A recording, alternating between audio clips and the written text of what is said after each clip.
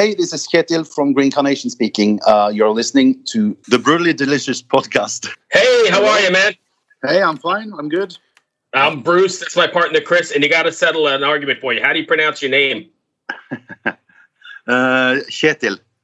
Oh, I was not even close. How do you Okay. say it? Kjetil. you know- So the, so the K is silent. It's uh, the first KJ is like a sound that you don't have, I think, but it's the same sound as Germans would use when they say ich. Ah, I don't know Ah. German either, so I'm lost. But welcome. Thanks for joining us, man. I appreciate you taking the time. No problem. What's it like over there in Norway these days? Well, we- we're kind of opening up again now after having quite a strict couple of months Yeah. uh, due to the obvious. Um, and yeah, uh, summer just arrived, so it's quite nice. What's the And we temperature? What's to- the temperature over there? It's like 20 degrees today. Nice, uh, But wait, But- that's Celsius. So Yeah, you got to convert it for Bruce, Chris. Bruce. It's about 70, 69, 70. okay. Six- There you go. Yeah, so I'm from Canada, so I know Celsius. I, I really don't get course. Fahren- I don't get Fahrenheit very well, but I'm working on it. No, me neither. Me neither. Fahrenheit's the only thing that makes sense. Fahrenheit makes no sense. okay, here's Jeto. I think Yeah. you'll appreciate this one. If 32 degrees Fahrenheit equals zero degrees Celsius, that's correct, right? That's correct. We can agree on that. So 32 plus 32 equals 64, Yeah. which is about 14, 15 degrees. but zero plus zero equals zero. So Hmm. there, there's your argument. Fahrenheit makes no sense. We won.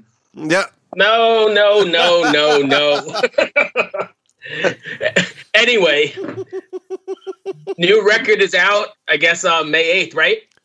May 8th, yeah. Yeah, it's And been so a, now that it's been out for a weeks now. couple weeks, how do you Yeah. feel about it? Are you still satisfied with the outcome?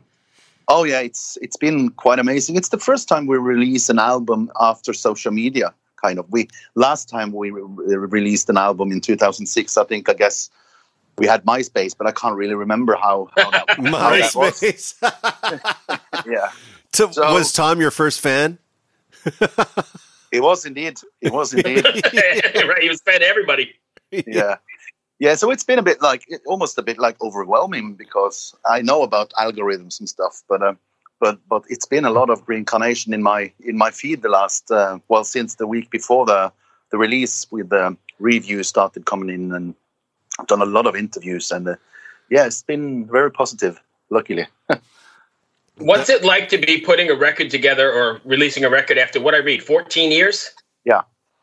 Yeah, it's been it's been a great pro- process to be honest. We we we came back together in 2016 after 10 years for the light of day day of darkness anniversary. So we did a few shows around the world uh, and the original plan was to you know to feel how it was to play together again and and say that okay we're going to do these shows in 2016 and then we can decide if we're going to try and continue making more music and stuff uh, and luckily, you know, the 2016 project went really, really, really well.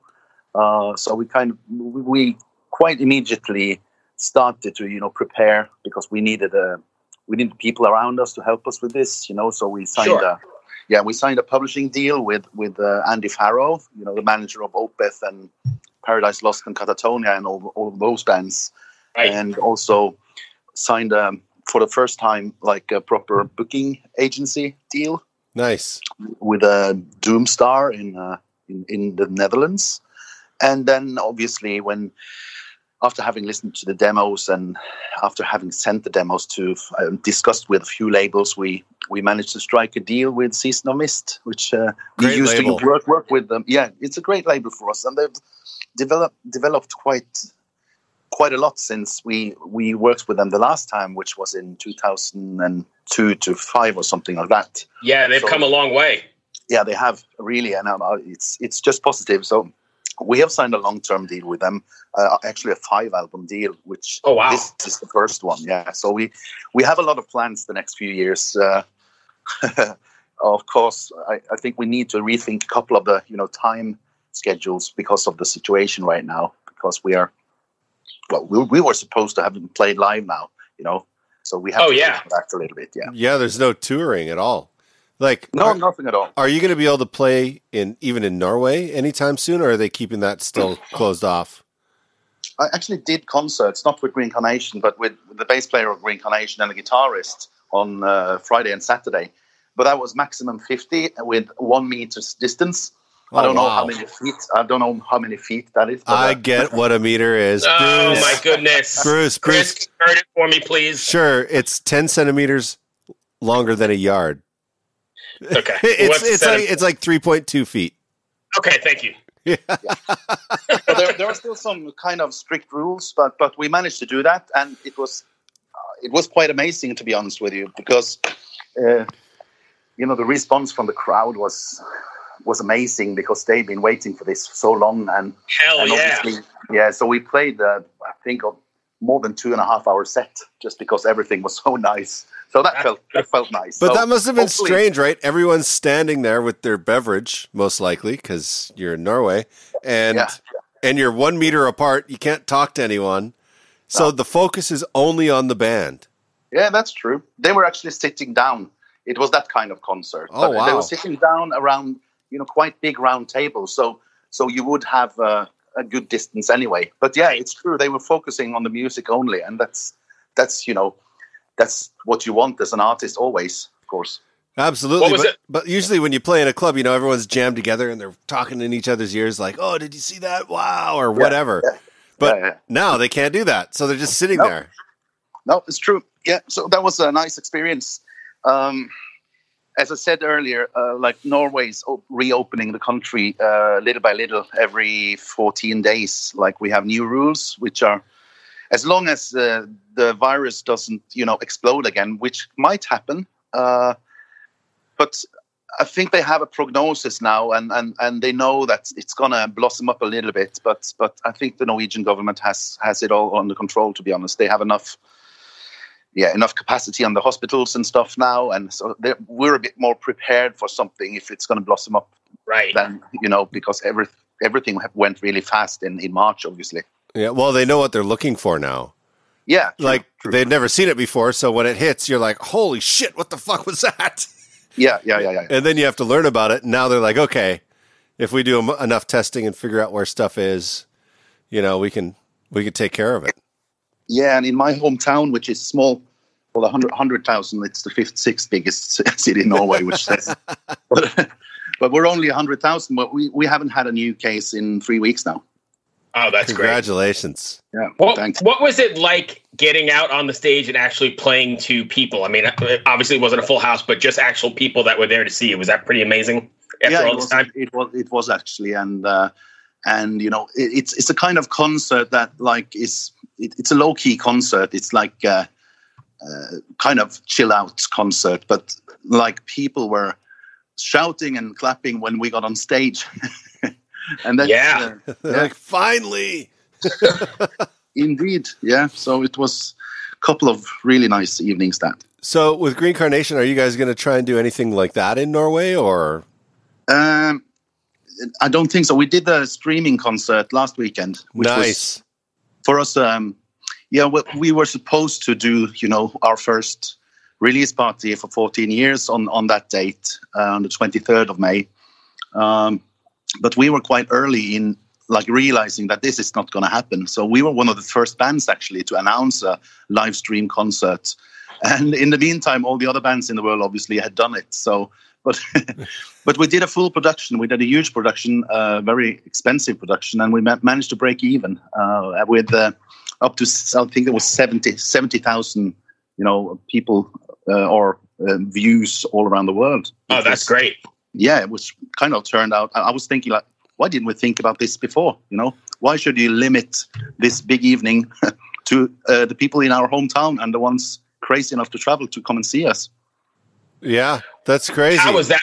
What was that like playing though? Because I know I saw the Katatonia live stream a couple of weeks ago, and you know they were saying that it was in between songs. It was kind of odd not having Yeah.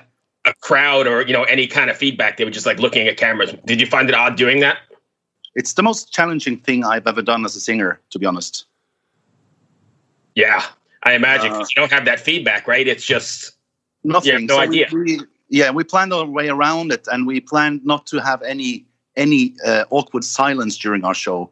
So we we made a set list with sound from the first to the last second, and I didn't talk anything.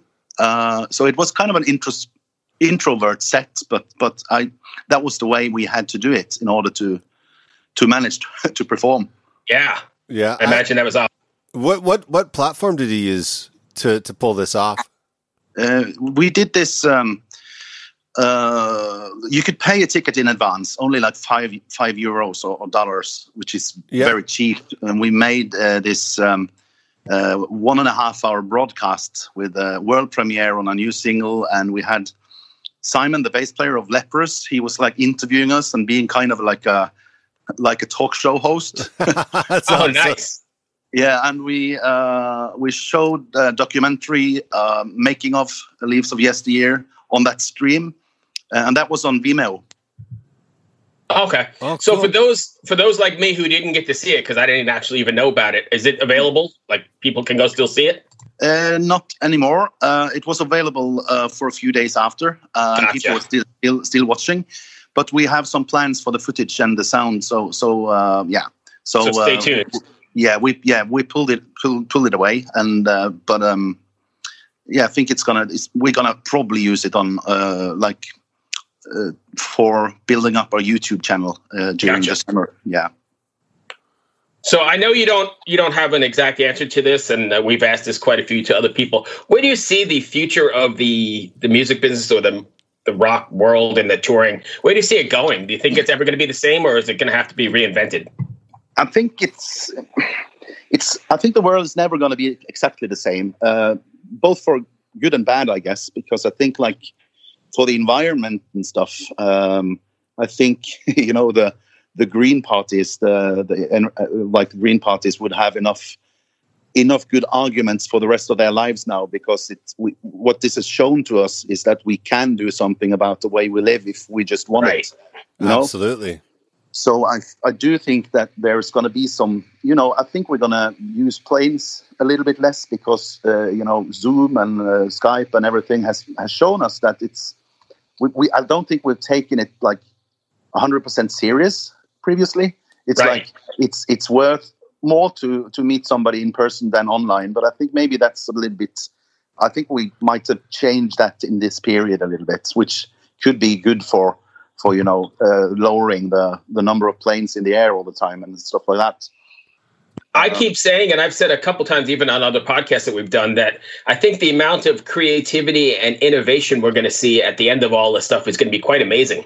Yeah, I I agree. I agree. Uh, and it's still, I think it's still early days. But what you did see quite fast was, especially, you know, the music business being really early in in finding new solutions when with the streaming concerts and stuff. And and obviously that's gonna have to. Um, somebody told me that uh, she didn't want to open the fridge because she was afraid there was a live stream in there.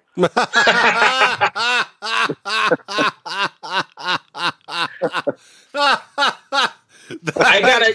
I'm gonna I'm gonna steal that today for my social media update. I'm gonna be Yeah, like, I would I don't want to open my fridge because I'm scared there's gonna be a live stream in there. But in the Yes. end, I mean, in the end, like necessity is the mother of all invention, right? And you have to reinvent to kind of pay the bills at some point. Absolutely, absolutely, and um, I think there are some elements, at least, that we're gonna we're gonna take with us from this time. I think there's still gonna be a need for people to physically go to concerts. Luckily, uh, but I do think we're gonna see a combination more. And I've been thinking about quite a lot if if it's possible to do a virtual tour, for example, now in in in September October. Uh, but then again, when Europe starts reopening, maybe in September October, we're gonna put a lot of effort into something and people really want to see physical concerts. So it's I think it's the uncertainty that's mo- the most difficult thing right now Yeah. for bands. But um, I have that need to see a physical concert. I'm Jones in big time. Oh yeah. Hmm. But you know, one thing I was thinking about with the virtual concert, um, you know, you could you could use a green screen, you know, Yeah. and, and really up like put on a pretty cool situation for people. You know, Absolutely. each song could have its own situation. yeah, And and Yeah, that's not something even- you could do live, really. true, No. true. But I was thinking even like with 3D technology and everything that like say we could have uh, 200 people in a in a big venue in Berlin or something. We could be in Kristiansand uh, and use uh, like a 3D technology slash uh, green screen, and um, we could uh, have cameras in the in the venue in Berlin, so it would look actually that we were on the venue. Yeah. Uh, Absolutely. Stuff like that. I'm, I'm not a very technical person, but but I think that sounds like a kind of a cool idea if it's possible to do, of course. Oh, it's possible. It just how much money would it cost to do? That's the problem, I guess. Oh, there's that. right. There's that little. Stupid cash, always getting in the way of my artistic goals. Yes, yes, yes. Especially when there's not much coming in these days. Yeah. Yeah, yeah. I think we were. I, I wouldn't say lucky, but uh, I think we were, you know, quite happy with breaking even on on that big show we had because we decided Green Carnation is a more is more band, so people would expect us to do something special, and so we couldn't like just do it with a mobile phone on our kitchen and stuff like that. So so so we put a lot of money into the production, and I think. Yeah, we're happy about that now because we can, we can, we have ten songs now, which which already sound and look really nice that we can use for, you know, rebuilding the band, what, which is basically what we're doing now because because we're still kind of small online because we were gone when Facebook com, came. So we our Facebook uh, site on um, like a Facebook page is just a few years old, and it takes so much time to build it up because there's so many, you know, there's so many of them, you know. Oh yeah. Right. There's so many pages. It's not even funny. No, And and and you get invited to like 10 a day. So yeah. Especially now with all these, everybody, like you said, there's a stream in every fridge. You're getting invited to a million of them. Yeah, you do. So I think and the market is, market, market is going to adjust itself, you know, because again, it's going to be, I think, the the best quality that will survive. Anyways, that's that's the thing with every, everything. Um, uh, so I think that's going to happen slowly. But it's it's been nice to see that the music business has been able to to you know to innovate quite fast. absolutely. Very fast. Yeah, I agree. Chris? Well, I don't really have anything else. I think this was a really cool conversation, though, and Cool. and I like you agree. This is really gonna, um, it proves that if you really want to do something, it can be done. Yeah, you, you know, true.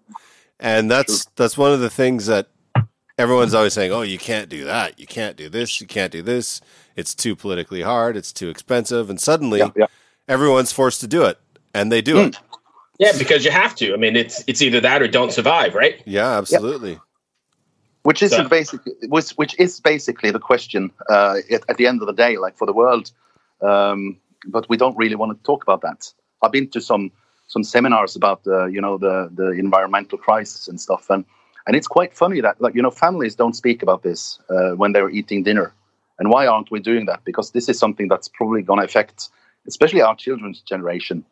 Uh, maybe not, not ours because we're getting old, but uh, yeah, you know what I mean. So it's a I great feel- thing. Hey, hey, hey! Yeah. I'm young. I'm young here. I feel I feel really bad for my son because he's a senior this year and he's graduating and you know getting out into the world and it's pretty fucked. Yeah, it is. It is. It is. Totally. But hopefully, you know, he'll be able to they'll be, that generation will be able to roll with it and you know take the lead and change his thing around. I th- I wonder what, what what we would have done the last uh, eight or nine or ten weeks without the internet. oh my god! I don't know. Can you drink anymore? I don't think you could drink anymore or eat anymore. So I there would have what been a lot of sex. Yeah. there is going to be a baby boom and and a, a divorce boom. I'm sure. as Yeah, I bet you're right. In California, they had the ro- uh, record for the amount of divorces filed in a week a little while ago. Really, they did. Yeah, already. Yeah, in yeah. California, yeah, people were like, So- "That's it." 24 7 for two months. I can't take it anymore. yeah. yeah. oh god. anyway, I want to thank you for taking the time, man. Good luck with the record and uh, hope we'll catch you sometime soon. Cheers. Thank you very much, both of you. Have a good well, day, man. Okay. Cool. Cool. Bye bye. Bye. Ever wonder what a punch from Elton John feels like? Or how you'd cope with having turned down the chance to be in Nirvana? Or what signal Keith Richards gives when he wants you to get the hell out of his hotel room? Fans of Too Much Effing Perspective don't have to wonder because they've heard these exact stories and a jillion others on our podcast. I'm Alex Hoffman, former tour manager for Radiohead. And I'm musician and comedy writer Alan Keller. On the TMEP show, we get guests like Nancy Wilson from Heart, Jeremiah Fraites from the Lumineers, and Modern Family's Julie Bowen to tell us things they may have only shared with their therapist, clergy, or a TMZ stringer. So join us on Too Much Effing Perspective. That's E F F I N G Perspective. The only podcast you crank up to 11.